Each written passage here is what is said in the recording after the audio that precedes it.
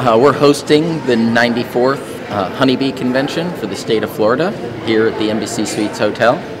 We have a lot of different events going on for uh, beginning beekeepers all the way up to commercial beekeepers and everything in between. It's a fully inclusive uh, bee workshop and learning experience. This is the first time that the conference has been held in West Palm Beach. The association, the Florida State Beekeepers Association, tries to share the, the wealth and rotate the conference around the state. And since this is the first time it's been held in Palm Beach, when we've been able to attract beekeepers from all over the state and all over the country. Uh, the honeybee has um, been in the, the news quite a bit with colony collapse disorder and the stresses that the honeybee has been under.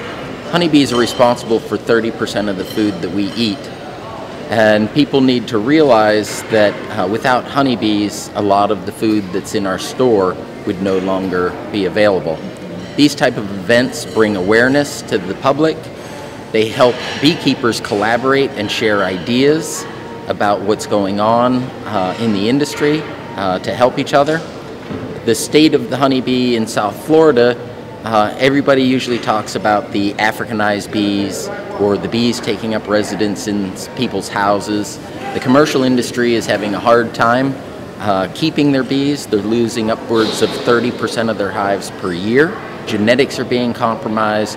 The health of the honeybee is being compromised, and they just can't withstand and adapt to the new uh, and changing environmental conditions.